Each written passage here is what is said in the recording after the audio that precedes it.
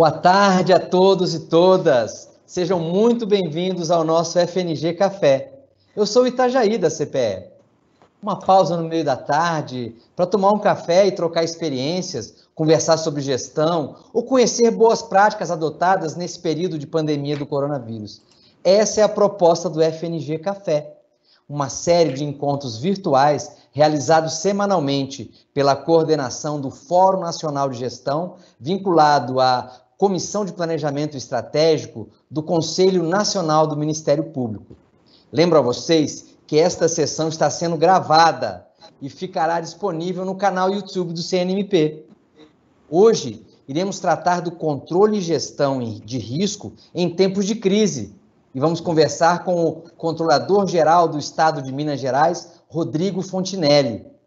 Também nos acompanha nessa edição a Mariana Couvre. Ela é coordenadora do GT Controles Internos do Comitê de Políticas de Gestão Orçamentária do FNG e vai conduzir o primeiro bloco desse episódio. Nosso encontro dessa tarde acontece assim. A Mariana e o Fontinelli vão dialogar sobre o tema nos primeiros 30 minutos do nosso encontro. Apenas os microfones deles e o meu ficarão liberados, mas vocês podem interagir pelo ambiente de perguntas e resposta. É só clicar no balãozinho com uma interrogação dentro, que fica no canto aí da sua tela, ok? Nos últimos 10 minutos, o Fontinelli irá responder as principais perguntas que vocês enviarem naquele ambiente. Ao enviar a sua pergunta, lembre sempre de iniciar com seu nome, o ramo ou unidade e no mesmo texto escreva sua questão em breves palavras. Ao final, vamos disponibilizar naquele mesmo ambiente de perguntas e respostas um link para o questionário de avaliação deste encontro, ok? Mariana, tudo certo? Você pode apresentar nosso convidado dessa tarde? A palavra é sua. Boa tarde, Tajaí. Boa tarde para todos que nos acompanham nessa transmissão. Boa tarde, Rodrigo Fontinelli, carinhosamente conhecido pelos colegas de controle interno como Fonte. É, obrigada por ter aceito o nosso convite do CNMP, estar aqui conosco nessa tarde para a gente falar um pouquinho sobre gestão de riscos, um tema tão importante né, para nós do controle interno. Apresentando Rodrigo Fontinelli, ele é auditor federal de finanças de controle da carreira da Controladoria Geral da União. Atualmente é o controlador geral do Estado de Minas Gerais, presidente do Conselho Fiscal do Banco de Desenvolvimento de Minas Gerais, é o coordenador executivo da Rede de Controle e Combate à Corrupção do Estado de Minas, a Rede Arco.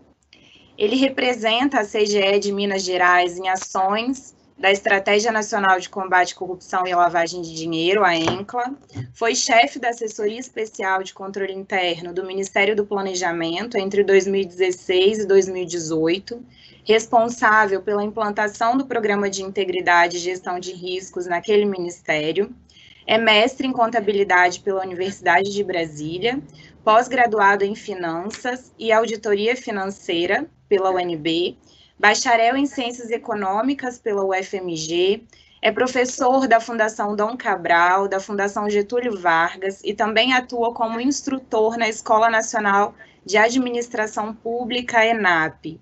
É autor de diversos livros na área de gestão de riscos, possui quatro certificações internacionais pelo IAA, o Instituto de Auditores Internos, certificações em auditoria governamental, auditoria interna, autoavaliação de controle e gerenciamento de riscos. Vamos lá, Fonte, começar. Pode falar para a gente um pouquinho da sua experiência com a gestão de riscos, principalmente nesse contexto de pandemia? Boa tarde a todos e a todas. Boa tarde, Mari, Itajaí. É, para mim foi um prazer muito grande é, receber esse convite. É a segunda vez que eu tenho a oportunidade de conversar né, com os colegas do Ministério Público em 2018, no nono Congresso Brasileiro de Gestão do Ministério Público, tive a oportunidade aí presencialmente em Brasília né, de falar um pouquinho sobre integridade, governança e algumas coisas que a gente estava fazendo naquela época do Ministério do Planejamento, no antigo Ministério do Planejamento.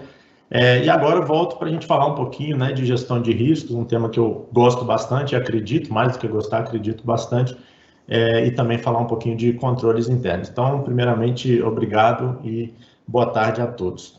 Bom, é, em relação à né, experiência de, de, gestão de riscos, é, a primeira vez que eu tive contato com o tema foi lá em 2008 ainda, né, na época daquela norma, só tinha uma norma internacional, é, que era uma norma da Nova Zelândia e, e Austrália, e de lá para cá a gente veio aprimorando, veio é, entendendo melhor por que, que faz sentido ter uma gestão de riscos numa organização, independente se essa organização ela é uma organização privada ou é uma organização do setor público, se é poder executivo, se é Ministério Público, se é judiciário, se é legislativo, todos nós precisamos dessa questão de gestão de riscos. Né? E nesse momento de, de pandemia, de crise, é que a gente vê que quem fazia uma melhor gestão de riscos está mais preparado para gerir a crise. Né? Então, muita gente faz alguma, alguma confusão em relação a esses termos, mas eu acredito é, realmente que se a gente faz uma boa gestão de riscos, não é que a crise não vai acontecer, né? Tem situações que a gente não consegue é, é, é atuar na causa para que essa crise, para que esse, que esse risco não se concretize e não seja, não seja transformado num problema. Mas a gente vai estar melhor preparado para gerir essa crise, né? E tenho citado bastante um exemplo da própria CGU, é, embora não, não esteja lá, mas é, sou, né? Sou da casa. É, em relação ao teletrabalho. Né? Hoje todo mundo fala de teletrabalho, é, todo mundo teve que aprender a fazer teletrabalho é, na dor, vamos dizer assim, não no amor, né? Mas é, quem já estava mais preparado, então, a CGU é só um exemplo que eu dou, mas tem outros órgãos é, que também já, já faziam essa, já tinham essa experiência um pouco melhor documentada, melhor trabalhada, é, saíram na frente, né? não estão tendo que fazer nada de forma assodada, nada é, de maneira que, é, que tenha uma, um prejuízo nas suas atividades. Né? Então, a gestão de riscos, a, é, seja nesse momento ou seja em qualquer outro momento, ela é importante quando a gente tem um objetivo. Né? Toda organização tem um objetivo, o, Ministério Público não é diferente, né? as controladorias não são diferentes, os órgãos, né, secretarias, é, é, Câmara de Vereadores, é, Assembleia, qualquer organização ou entidade, né, ela tem é, os seus objetivos e por isso ela deveria fazer gestão de risco. E aí pode parecer um negócio meio, meio é, inovador, né? Mas de um tempo para cá só que a gente escuta falar é, em gestão de riscos e aí também pegando outros é, outras palavrinhas, como eu gosto de dizer, né, que é integridade, compliance e tal, isso tem vindo é, de, de, alguns anos para cá, mas ontem até estava citando isso numa outra, num outro encontro que eu tive, é, virtual em relação a esse tema, que a, a gestão de risco ela já é prevista, é, ou pelo menos você pensar os controles é, sempre fazendo um paralelo com o risco, desde o decreto 200, lá de 1967 né, que diz que os controles eles têm que ser proporcionais ao risco avaliado. Né? Então, é, não é alguma coisa que a gente está inventando agora, né? não é uma coisa é, tão inovadora assim, mas a gente realmente tem que começar é, a fazer. E eu acho que nesse momento de pandemia, isso acaba saltando um pouco aos olhos aí do gestor, né? e a gente tem tido uma procura muito grande é, ah, tudo bem, né? Você falava tanto desse negócio, acho que agora faz sentido é, te escutar um pouco mais, né? Isso tem sido é, recorrente aí nas pessoas que eu, né, nos, nos colegas e amigos que a gente é, lida mais com o tema, é, a gente tem, tem visto essa expectativa, é, essa receptividade, vamos dizer assim, melhor dos gestores em relação a, a esse tema. Em relação a controles internos, que nada mais deve ser do que uma resposta, né? A esses riscos avaliados, e aí aqui eu não estou falando do controle, é, por exemplo, CGE como órgão central do sistema de controle é, interno do Poder Executivo Estadual, estou falando daqueles controles internos relacionados ao gestor, né, que todos nós temos alguma responsabilidade de controle, na nossa organização, do estagiário ao presidente, é, a, nós temos alguma, alguns controles que, que a gente deve colocar em prática é, todos os dias, ou independente da periodicidade. Então, esses controles é que eles devem, que a gente deve sempre fazer essa relação com é, é o risco avaliado para que eles realmente façam sentido, né? E, e a gente não, e não ser é, apenas controles burocráticos. Né? Então, numa primeira, é, numa primeira fala, vamos dizer assim, né, é o que a gente é, teria para contextualizar aí nessa, nessa tarde de hoje. Fonte, é, existem riscos que são controláveis e outros não? Como que funciona essa questão dos riscos controláveis e outros não?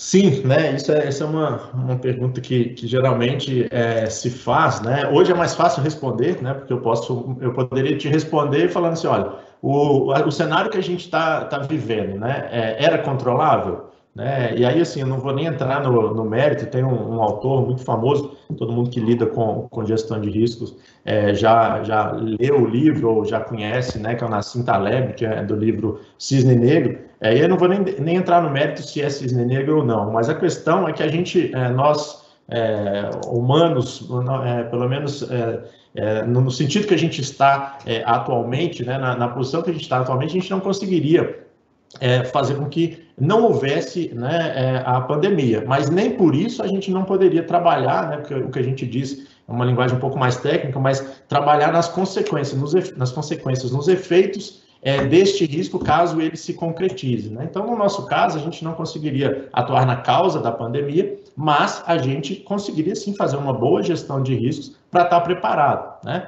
Poderia citar o exemplo é, do teletrabalho, né? é um, um exemplo é, clássico de um plano de contingência que poderia estar já prontinho para é, ser é, a partir do gatilho, né? que, é, que foi a, a, que é a pandemia, ou que foi o decreto de é, calamidade, a gente é, startar esse processo, esse plano de contingência. Né? Então, esse, é claro, é um exemplo mais macro e, e totalmente alinhado é, ao contexto que a gente está vivendo, mas a gente pode pensar é, de uma forma menor, né? Então, se eu pensar no meu órgão, então, dentro do meu, do meu órgão, é, em algum setor, né, é, a questão orçamentária, e isso nos últimos, talvez, cinco, seis anos, é, isso tem sido é, um problema é, recorrente, é, a questão orçamentária geralmente não está na nossa alçada, não está na nossa mão, vamos dizer assim, é, não ter contingenciamento, por exemplo, tá? Mas nem por isso a gente não precisa fazer gestão de risco e caso aquele contingenciamento venha, né? O que, que eu vou cortar? O que, que eu vou priorizar? Quais são as minhas ações, né?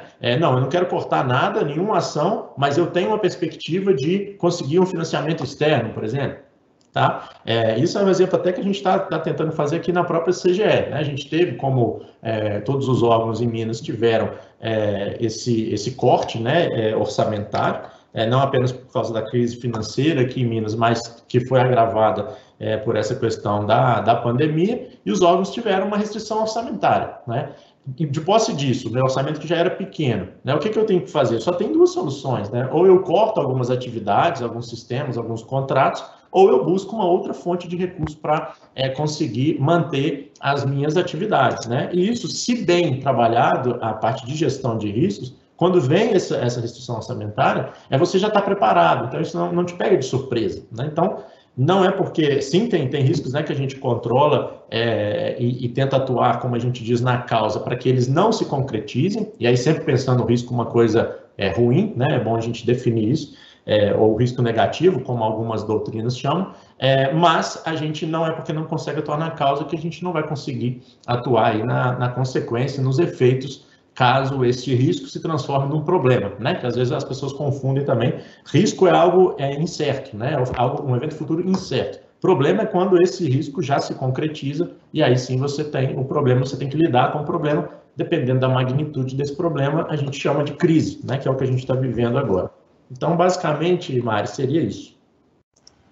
Entendido. É, até aproveitando, você tocou no assunto do teletrabalho. É, a questão do, de como gerenciar crises, aproveitando a experiência de vocês da Controladoria Geral de Minas, que já gerenciaram alguns períodos de crise, como os acidentes de Brumadinho, Mariana, já vem implementando a questão de gestão de riscos há algum tempo.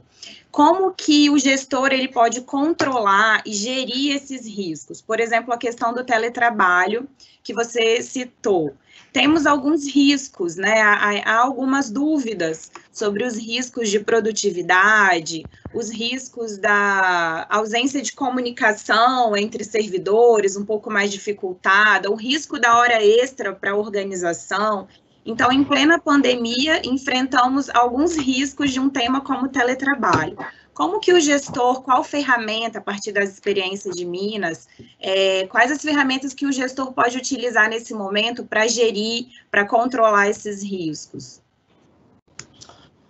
Tá, Mari, é assim, primeiro de tudo a gente precisa conhecer esses riscos, né? Então, é, quando você não faz essa gestão de riscos, você não tem, é, por exemplo, um plano de contingência. E esse plano de contingência é que vai dar um melhor tratamento a, a aqueles riscos que, em, em algum motivo, acabaram é, se concretizando. Né? Você citou o exemplo aí de é, do, e acho que aí não precisa nem muita explicação, é da, da barragem, do rompimento da barragem é, ali de Brumadinho, né? Se você reparar as ações que foram feitas, na tempestividade que foi feita, é, a, a, a, criação do comitê de crise, aquilo é por quê? Porque o Estado, e aí mais especificamente as forças, né, Corpo de Bombeiro, é, Polícia Civil, é, Polícia Militar e o próprio gabinete de governador ali com a Defesa Civil, eles já estão preparados, já estavam preparados caso um problema, uma, um risco como esse acontecesse, né? Ou seja, já tinha todo um plano de contingência e eles startaram isso em quatro horas.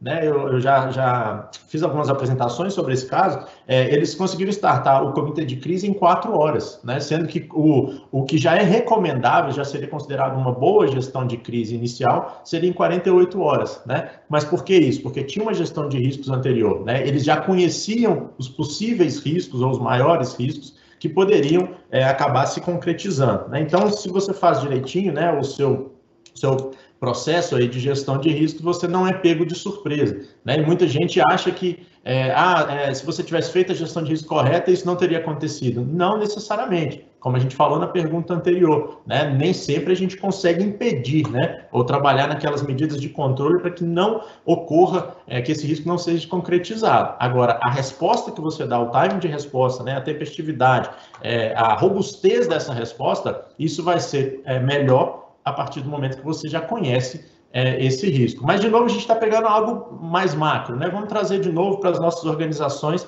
é, é, e, um outro ponto importante em relação né, a, a gerir e controlar risco.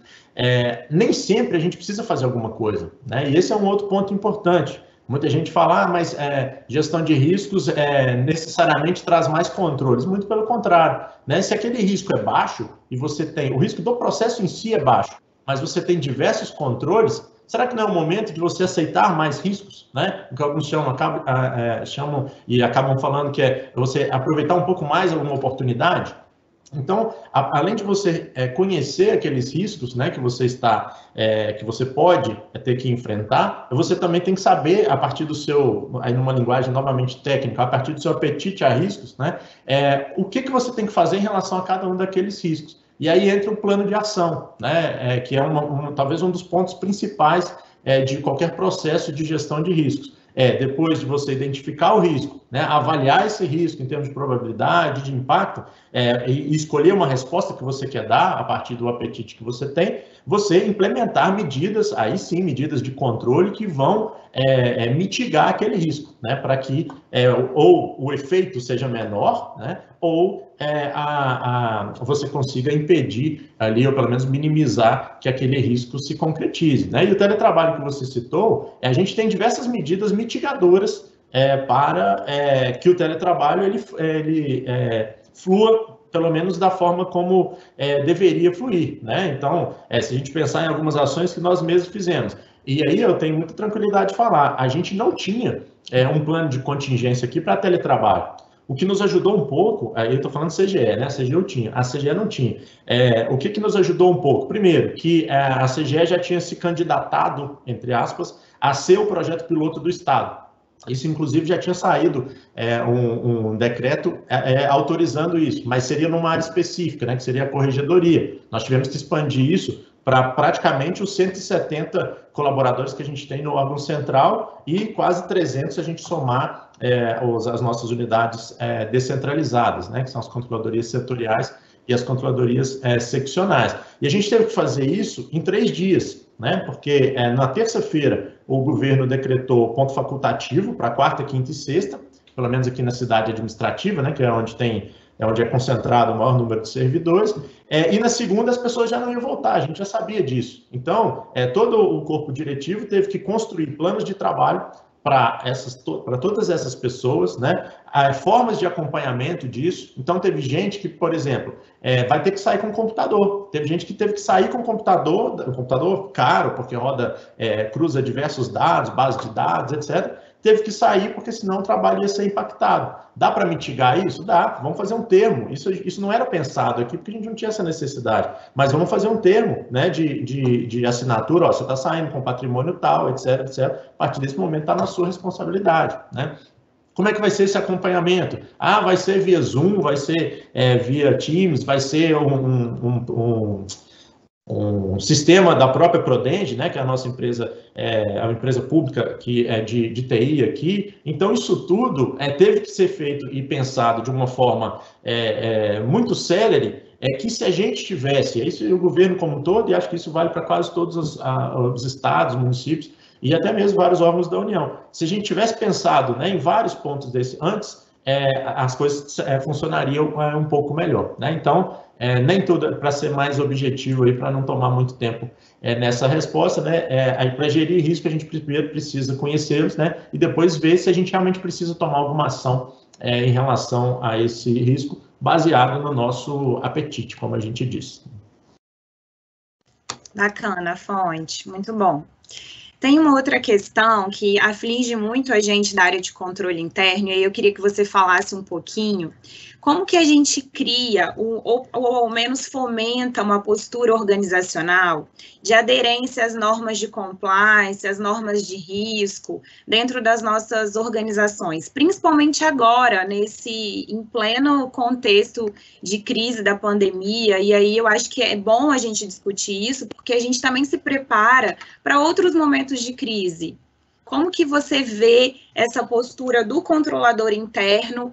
É, quais ferramentas a gente poderia utilizar? Do que a gente poderia se valer dentro das nossas organizações para fomentar um pouco mais de aderência às normas de compliance e de riscos?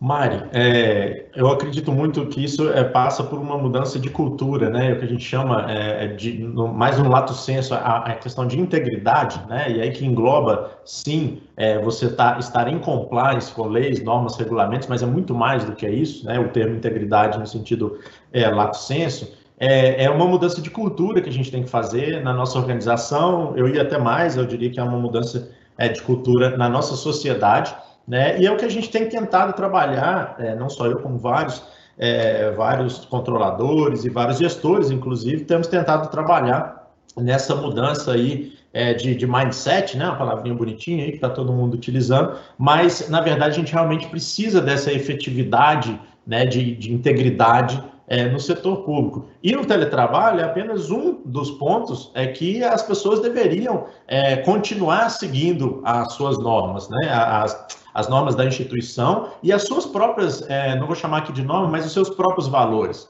Né? Então, se você é, trabalhava oito horas por dia, cumpria sim o seu papel, é, né, as suas tarefas é, diárias, toda, to, tudo que é esperado, né, principalmente no caso do servidor público, tudo que a sociedade espera de você. Agora que você está em casa, por um motivo, né, um, um evento externo, é, que é a pandemia, é, num cenário que é, praticamente, é, afet, praticamente não, afetou é, todo mundo. Só porque você está em casa, você vai mudar essa questão? Né? Você, você mudou os seus valores? É, se você trabalha em casa, você, se você trabalha é, lá no, no, gabinete ou na sua no prédio físico lá é, da sua instituição? Acredito que não. Né? Então, é, cabe a gente é, relembrar isso, então, a gente aqui em Minas, é, a, a, assessoria de comunicação né, e, e outros que, que, ajudaram a elaborar, é criar uma campanha que chama Transmita Integridade.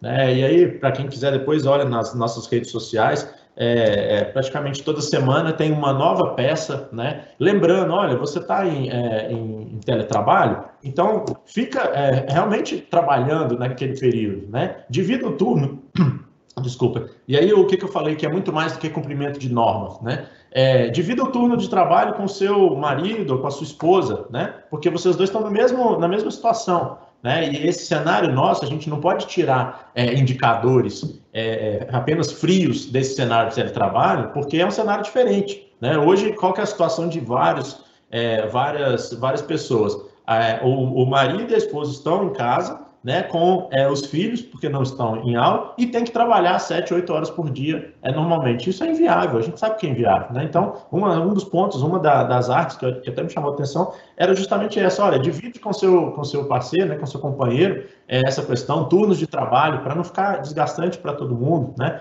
Então, é, é muito mais do que cumprir normas em teletrabalho, porque isso, é, querendo ou não, às vezes você consegue é, é, medir isso, tem sistemas né, que você vai verificar se a pessoa está logada ou não, é, mas eu, eu não acredito muito nessa, nessa parte apenas de cumprimento de norma nessa situação. É muito mais você é, é jogar com os valores da pessoa, né, relembrar esses valores da, daquele servidor, e aí eu acho que a gente tem um ganho é, maior, né, em relação a, a, independente se é em relação a teletrabalho é, ou se é a relação normal nossa é, numa, naquele antigo normal, como muita gente diz, que não, não vai voltar. Né. Então seria isso, Maia. Bacana. É, então, falando um pouquinho mais sobre controle interno, e aproveitando aqui que você é um expert no assunto e tem toda essa experiência aí para nos ajudar, principalmente nós controladores dos ministérios públicos, é, historicamente, aqui relembrando um pouquinho, né? A gente, você que é da área formado em economia, fez especialização, mestre na área contábil, a gente relembra que os controles internos nasceram como contadorias, né? Então, eles vieram dessa toda análise de conformidade contábil, e a gente ainda está em constante evolução. Hoje a gente alcançou um patamar muito novo, mas que a gente viu principalmente com a temática de gestão de riscos, que somos verdadeiros consultores, né? Então a controladoria interna vem trabalhando cada vez mais com um papel de consultoria. E aí eu queria que você falasse um pouco para a gente do controle interno, quais as competências você acha que vão passar a ser mais exigidas cada vez mais de nós, controladores internos, é, novos requisitos, novas exigências, quais é, os comportamentos organizacionais que se espera cada vez mais dos controladores internos, e enfim, essas novas competências que a gente precisa é, se reinventar, e o que, que se tem de tendência para o futuro do controle interno dentro de uma organização. É, excelente, Mário. Você fez um, um, histórico interessante, né, da parte desde contadoria é, até o, o, novo papel do controle. É, e aí, assim, é, mais do que competências, né, porque isso é um pouco né, chovendo molhado, a gente tem que ter aquelas habilidades é, do que a gente lida é, mesmo. Então, tem uma área que vai é, necessariamente ter que ter uma habilidade, uma competência mais contábil, é, uma outra, é, pelo menos aqui na controladoria, né, uma outra área um pouco mais investigativa, aí, outra área um pouco mais forte aí em TI, cruzamento de dados, mas isso é, é meio que padrão assim, em toda a organização. O que eu entendo que a gente vai precisar ter, e aí é mais é, é, questão comportamental, né, são duas coisas. Basicamente, a primeira, resiliência, né, isso, isso acho que vai valer para todos, é, se, se, é que não valia antes, mas depois dessa, desse novo, é, novo paradigma que a gente tem agora, o, o, novo normal, como muita gente tem dito, com certeza vai demandar uma resiliência muito maior, aliás, já está demandando uma resiliência muito maior das pessoas, né? A gente vê que muito, muita gente é, é, é, mais nervoso mesmo, porque essa questão de trabalho é, em casa, né? E não sabendo lidar com essa questão de não, não é, conviver com os outros e tudo. Então, é, a gente vai ter que, é, principalmente na volta, ser, sermos resilientes em relação a esse novo, novo normal, né? Porque o desafio no meu entendimento, vai ser muito grande. Mas eu queria chamar a atenção de um outro, um outro comportamento, e aí eu vou pegar uma palavra que é, tem sido bastante utilizada pelo Gilberto, que é o corregedor-geral da União, né, que lida aí com processos administrativos disciplinares, processos é, de responsabilização de pessoa jurídica. Então, que a, a, tendência, quando a gente fala corregedor, né, isso em qualquer organização é uma tendência né, mais punitiva, aquele cara mais é, durão, mas às vezes acho que as pessoas confundem. E é uma palavra que ele tem utilizado bastante, eu tenho chamado a atenção sempre que eu posso. É, inclusive, ele foi o nosso, é, o nosso entrevistado no podcast que saiu hoje, lá no podcast da, da CGE, que é o Pode Falar. É, ele fala em empatia, né? E eu acho que isso não apenas o corregedor, não apenas o controlador interno, né, ou o controlador geral, mas é, não apenas é o promotor é, no Ministério Público, é qualquer área de controle é, quando for analisar, quando for colocar o foco né, no que está acontecendo agora, é, ela tem que ter um cuidado muito grande, uma empatia muito grande em relação ao gestor, por quê? É, porque o cenário, pessoal, é muito complexo, né? Então, os cenários, em cenários extraordinários, a gente precisa de ações extraordinárias. E se a gente vier, né, com aquela sede é, punitiva, né, é, a gente pode, é, pode é, atrapalhar muito mais do que ajudar, né? Então, eu é, concordo muito com uma frase que diz né, que quando é, você pune, é, não pune um profissional que deveria ser punido, né, isso acaba gerando aí uma impunidade, isso é, fato. Mas quando você pune, ou eu vou até, até mais, quando você abre um processo, e aí trazendo né, para a nossa esfera, um processo administrativo disciplinar em relação a uma pessoa que não tem nenhuma culpa ali, né, que, não, que não deveria estar inserido naquele processo, é, você gera, acaba gerando o que, né, que muitos chamam de apagão das canetas. Isso, assim, não é uma coisa, ah, tá pegando uma frase que é, muita gente tem falado. Não, eu já vi, eu já tive amigos que foram processados injustamente, tanto é que no final depois é, foram totalmente absolvidos, seja pelo TCU, seja até internamente em relação a, a, a processo administrativo disciplinar, e o cara nunca mais quer nenhum cargo. E o cara é excelente, é, é excelente profissional, né? Então, assim, é, a gente tem que tomar muito cuidado, tem que ter essa empatia de se colocar no lugar do outro, e isso vai ser exigido do controle. E, novamente, não estou falando apenas controles internos, estou falando de todo esse público aqui, que eu imagino que tenha é, muitos promotores, auditores internos, é, é, controladores. Então, eu acho que isso vale para todos nós, né? Claro, é, isso não quer dizer que a gente vai passar a mão na cabeça de quem está é, desviando recursos, quem está agindo né, de forma é, dolosa aí para é, perpetrar alguma fraude, alguma coisa. Não estou falando isso. A gente continua, é, entre aspas, armado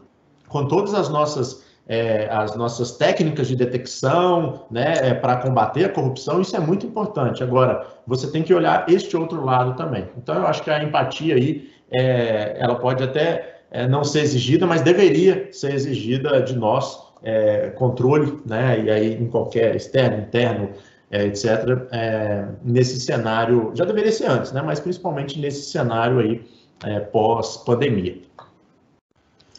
Muito obrigada, Fonte. Quero te agradecer imensamente e de modo pessoal o convite, tá, que você aceitou para estar tá aqui falando um pouquinho com a gente nessa tarde sobre esse tema tão importante para o controle interno e para o Ministério Público de um modo geral, seja no âmbito da sua atividade meio, porque a gente também gere recursos públicos, seja no âmbito da atuação da respeitada atividade finalística dos promotores do patrimônio público, que também é importante conhecerem um pouco dessa temática na hora de lidar ali com a verificação da atuação das controladorias do executivo, que já tem abraçado esse tema.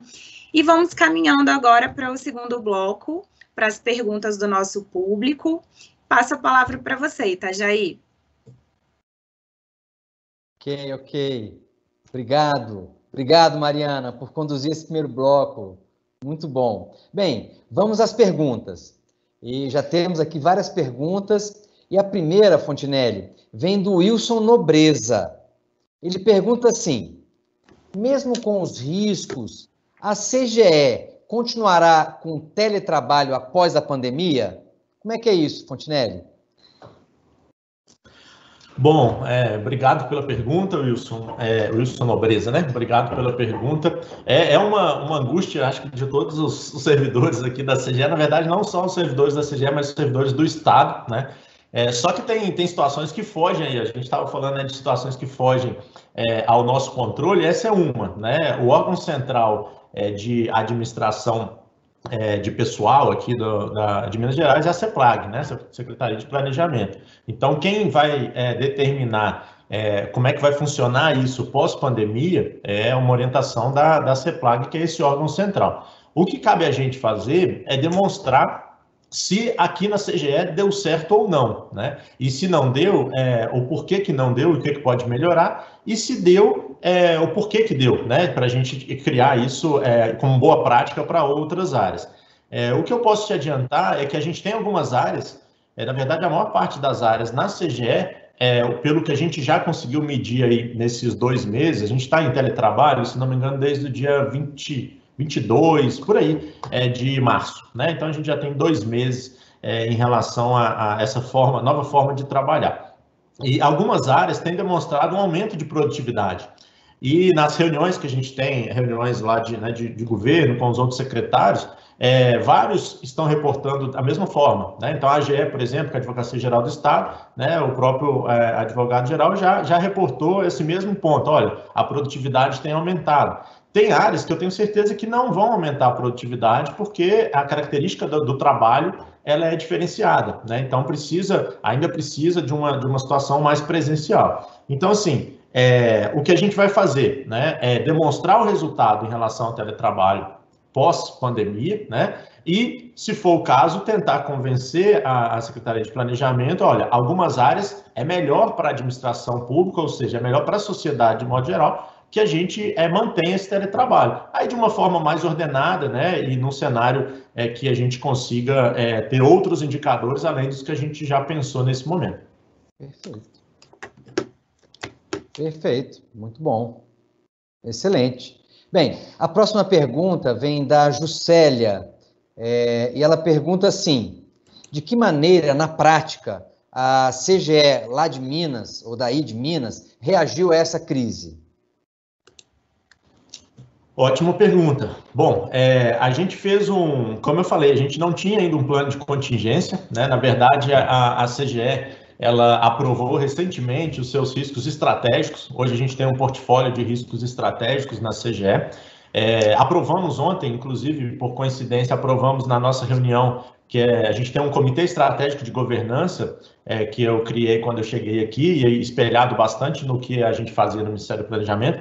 É, a gente aprovou ontem o apetite a risco, então uma declaração de apetite a risco que a gente não tinha e quase nenhuma organização é, no setor público tem, então a gente conseguiu aprovar também. Mas a gente não tinha o um plano de contingência, né? E esse plano de contingência ele teve que ser construído é, em poucos dias, né? Então, assim, é, pode não ter sido o melhor plano, mas a gente conseguiu prever é, ondas de liberação dos servidores, né? Então, e esse plano tá, eu não tenho problema nenhum em falar desse plano, que ele está no site da CGE, tá? Inclusive foi utilizado depois como alguns, é, como modelo para alguns outros. Então, ele é, estava prevendo ondas, então, quando a transmissão é, do, do, do Covid em BH, ela for, só de algumas coisas que eu lembro, tá? É, quando ela, essa transmissão ela for é, é, uma transmissão, passar a ser uma transmissão local, a gente libera tais pessoas e a gente toma essa, essas ações. Se você separar no documento, é muito um plano de ação mesmo, tá? É, olha, se chegar num ponto que agora a transmissão ela é comunitária, tá? É, a gente toma as outras ações, que foram as que foram tomadas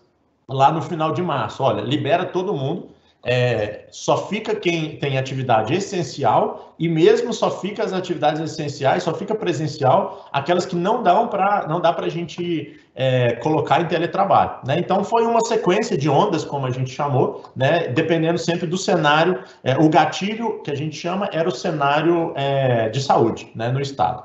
E, e, dessa forma, assim, ó, tal pessoa faz isso, né? tal área faz isso. É, por exemplo, a nossa área meio, né, que a gente chama aqui de SPGF, né? Então, ó, é, mapeia todos os servidores que estão no grupo de risco. Essa, essa foi, uma, foi um, um, primeiro ponto que a gente teve que fazer, porque essas pessoas já foram as primeiras a ser liberadas já na primeira onda, né? É, então, olha, tem alguns prazos processuais é, a gente, que a gente depende do Tribunal de Contas do Estado, por exemplo, mandar um ofício para o tribunal solicitando é, uma, uma dilação de prazo. Então, isso tudo tudo dentro do que a gente conseguiu fazer naquele tempo, né, foi feito a partir desse plano de, de contingência, que, novamente, né, é, a gente não está aqui para ficar adorando nenhuma pílula. Se tivesse feito isso antes, né, se a gente tivesse tido essa condição, uma maturidade maior, a própria instituição é, da, de, em gestão de riscos, isso teria sido, com certeza, teria sido feito melhor, né, mas dentro do que a gente teve de condição, acho que é, acabou sendo até, até bem, bem razoável, os resultados estão, sendo interessantes né, dessa forma. Ok, ok, entendo, entendo. É, entendo quando você diz, né, Fontinelli, quando você fala que é a, a qualidade possível, né, dentro do, do, das condições, do contexto em que aconteceu. Mas vamos à próxima pergunta. Essa pergunta é aqui também de Brasília, o João. Ele diz o seguinte: com a aprovação pelo governo federal da Lei Complementar 173, que estabelece o Programa Federativo de Enfrentamento ao Coronavírus, o papel dos controles internos deve ser mais efetivo? Como fica isso, Fontinelli? Bom, essa saiu hoje, né? Eu, eu li, mas foi de manhã, mas é, é, nem esperava essa pergunta, não, mas eu, eu li, a, tem, uma, tem um ponto lá, agora eu não vou lembrar, é, parágrafo 4 acho artigo 3 Bom, é no comecinho que fala, inclusive, da supervisão dos controles, né? É, com certeza isso vai ter, isso vai exigir mais da gente, né? É, como a, e eu vou fazer um paralelo em relação à própria flexibilização que foi dada pra, pela 13979, né, que é a flexibilização de compras. É, ali, e eu, eu, entendo que foi correta essa flexibilização, eu vi gente criticando, ah, agora está fácil, é, né, é, aumentou a corrupção. Claro que aumenta a possibilidade de corrupção, isso é inegável, né? Mas, é, se você pensar do lado do gestor, também era necessária uma ação extraordinária, como eu falei numa pergunta anterior, né? Cenário extraordinário, ação extraordinária. Então, é, é claro que a gente precisa, é, é, já que aumentou o risco de corrupção, a gente ter uma, uma, um cuidado um pouco maior nessa área, né? Da mesma forma com é, é, essa questão de, de, da Lei 173, né? Lei Complementar 173. Tem alguns pontos ali é, que a gente vai precisar, principalmente no meu entendimento, e aí, lembrando, essa lei saiu hoje, mas dentro do que eu, que eu fiz a leitura, principalmente a questão é, da, do não, da não necessidade de cumprimento da LRF em alguns pontos, eu acho que isso a gente vai ter que é, acabar ficando é, bem atento. Não é uma novidade, pelo menos não aqui, é porque a gente assina o RGF, e eu estou novamente lembrando, por coincidência, hoje eu assinei o RGF né, do primeiro quadrimestre, junto com o secretário de Fazenda, então a gente já vem acompanhando é isso, é só talvez acompanhar com um cuidado um pouco maior. Né? Agora, com certeza deve ter outros riscos que eu ainda não me atentei é, e que o colega, que eu esqueci o nome, é, é, já deve ter pensado aí, né? mas eu ainda tenho que aprimorar essa, essa leitura.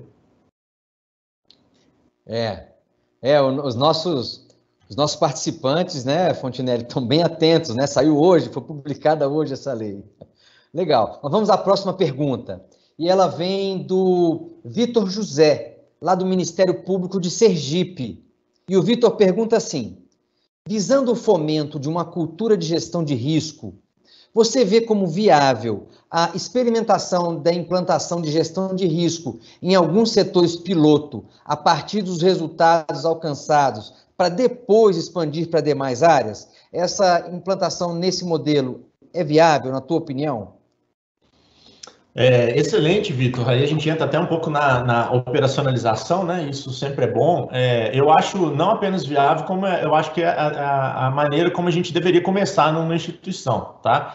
É, selecionar um setor que talvez seja mais propenso é, ou pela atividade ou pela pessoa, e é isso a gente ainda tem que trabalhar dessa forma é, no setor público, seria uma ilusão a gente achar que não. Isso influencia, né? Então, vou dar, vou dar o exemplo lá da, do Ministério do Planejamento. Quando a gente começou, lá em 2016, é, qual que foi o processo que a gente pegou é, para que a gente escolheu? Um, um macro processo de transferências voluntárias. É, se você pensar assim, ah, será que é o ideal você já pegar um macro processo tão robusto como esse? Possivelmente não era o ideal. Mas por que, que a gente pegou então? Pela pessoa que estava à frente, né? A diretora que estava à frente à época, ela adorou quando eu apresentei isso para diversos secretários e diretores, e ela levantou o dedo, sempre conto isso, e aí minha, hoje a minha amiga Débora Arocho, que está lá na, na Casa Civil, na presidência, é, ela era a diretora e ela, fala, ela falou assim: não, vai começar comigo, né? E, e realmente comprou a ideia. É lógico que é muito mais fácil quando o gestor compra a ideia. Tanto é que saiu, a gente conseguiu fazer. É, foi foi um, um, piloto muito legal, muito interessante. É, e a partir desse piloto, inclusive, a gente acabou gerando uma economia no ano seguinte de 32 milhões. É, com uma, com um, um, ponto que a gente é, mudou é, lá, né, a equipe dela mudou, é, na, na, no Siconv, né, na, no, no, sistema lá. Mas aí já é muito técnico. Mas então, sim, eu concordo, Vitor, que eu acho que, é, que eu concordo com você, deve ser escolhida uma área, né? Qual área? Aí vai depender da instituição, depender do processo, mas também depender, é a única dica que eu daria, depender do gestor daquele processo, né? Se ele, ele tem que comprar ideia, tem que ter o apoio, né, o tom do topo, como a gente diz, para que isso dê mais certo. Ah, interessante, muito interessante quando a gente tem essa felicidade de encontrar uma parceria espontânea, né, Fontinelli? Muito bom. Bem, a próxima pergunta agora é, vem lá do, do Wagner, do Wagner, do Ministério Público do Espírito Santo. Olha só, colega da, da Mariana. Ele pergunta assim: quais as resistências encontradas na implantação de compliance e gestão de risco na administração pública? Como romper a cultura organizacional e conscientizar o gestor sobre boas práticas de risco, análise quantitativa e qualitativa, para uma tomada de decisão mais consciente? Como que a gente quebra essas, eh, essas resistências? Qual a é, experiência? É, Como você Wagner, lida com isso? Wagner. Acho que é Wagner, né? É, Wagner. O Wagner aí, capixaba. É, então, Wagner, é, você está coberto de razão, vai haver muita resistência, né? Sempre há. É, qualquer mudança de cultura numa organização é, gera essa resistência, e aí não é especificidade ou é, porque é gestão de riscos ou compliance, né? Tenta fazer um mapeamento de processos, né? Que você vai ver ah, o mesmo problema.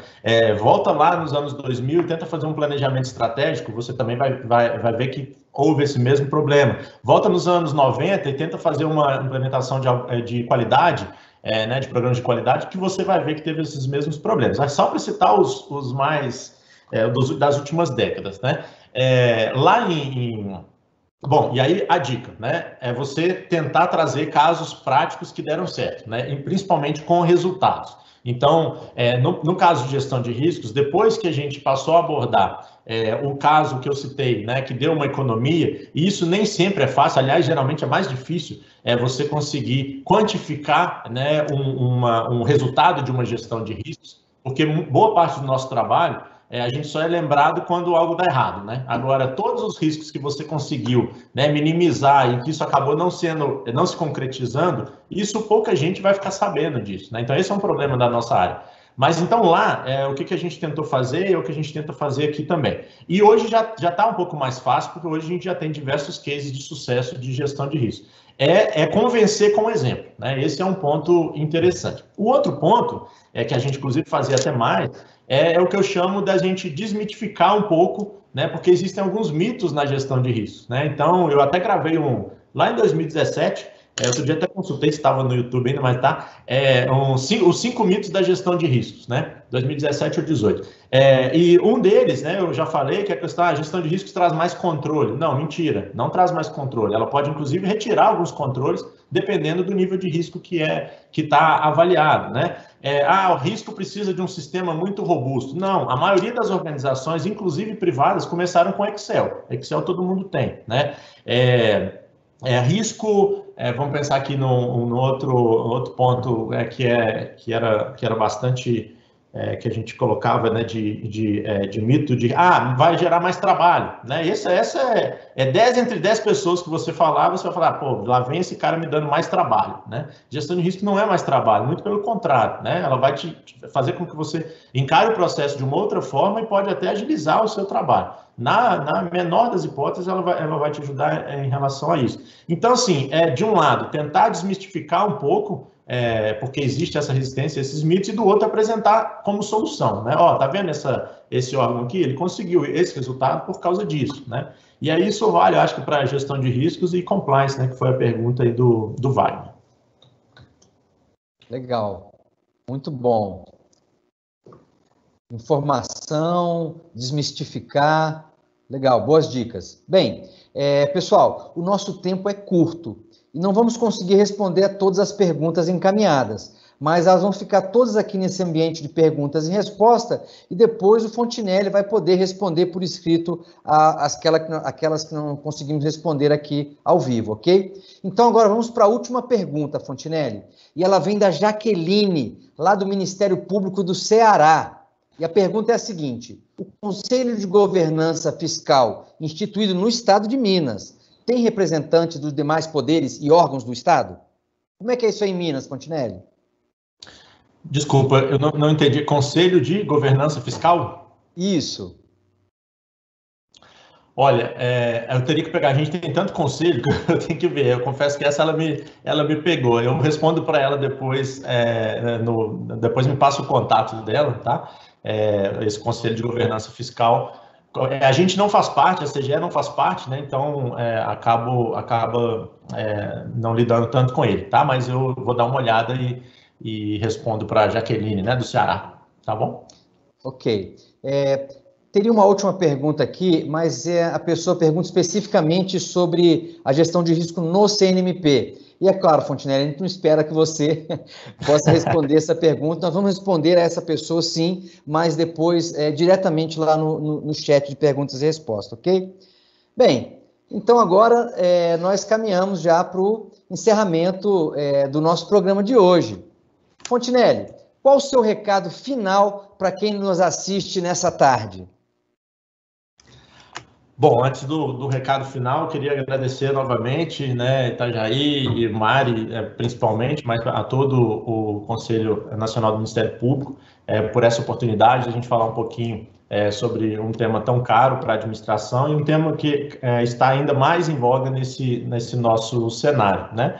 É, o conselho, assim, né, quem sou eu para dar conselho, né? Mas é, eu, é, é entender um pouco é, a, a, dinâmica do que é gestão de riscos e controles sem essa, essa, é, esse preconceito, vamos dizer assim, em relação ao tema. Né? É um negócio que, que dá resultado, é um negócio que você pode começar é, de uma forma bem incipiente, que já vai te ajudar, né? então não precisa de nada é, muito é, robusto para que você já consiga ver alguns, é, alguns avanços. E eu tenho certeza que é, todos que, que começarem, né, caso ainda não tenham começado, a entender um pouco mais né, o que, que a gestão de risco pode te ajudar é, nos processos e é, implementar controles que façam sentido, né, sem ser aqueles controles burocráticos, é, todo, todo, todo profissional vai ganhar, independente de, de qual organização, independente de qual é, cargo ele ocupa, né? Como eu falei, de estagiário ao presidente, é, todos eles podem e devem fazer a sua gestão de riscos, mesmo porque, como eu sempre digo nos meus cursos, né, a gente já faz a nossa gestão de risco pessoal todos os dias, várias vezes ao dia, né? Então, faz muito sentido a gente fazer também na nossa vida profissional, no nosso, é, no nosso trabalho. E me coloco à disposição aí, depois a gente conversar é, em outro momento, quem quiser, né, estou é, nas redes sociais lá, é, não apenas a minha, mas é, principalmente a da CGE Minas, né, a gente coloca, tenta colocar boa parte do que a gente é, faz nessas redes sociais e também é, tudo, todos os manuais, tudo que a gente faz aqui, a gente é, é bastante transparente, a gente já pensa é, na sociedade mesmo, é, é, aproveitando desses manuais, metodologias, etc. Então, consulte lá o nosso site também, tem muita coisa interessante. Então, obrigado mais uma vez aí, Itajaí e Mariana. Ok, ok. Excelente, Fontinelli, excelente. Nós já achávamos que iam conversar só sobre gestão de risco e compliance e falamos também, também sobre integridade, resiliência, empatia. Muito obrigado, viu, por compartilhar a sua experiência conosco. E um agradecimento especial também ao pessoal da SECOM e da STI, que nos tem dado total apoio nessa iniciativa do FNG Café. E obrigado a você por participar conosco de mais esse episódio do FNG Café. Esperamos vê-los no próximo programa. Acompanhe as notícias no site do CNMP. Lembre de responder ao questionário de avaliação aqui do lado, junto com as perguntas que vocês encaminharam. E tenhamos todos uma boa tarde e um bom trabalho.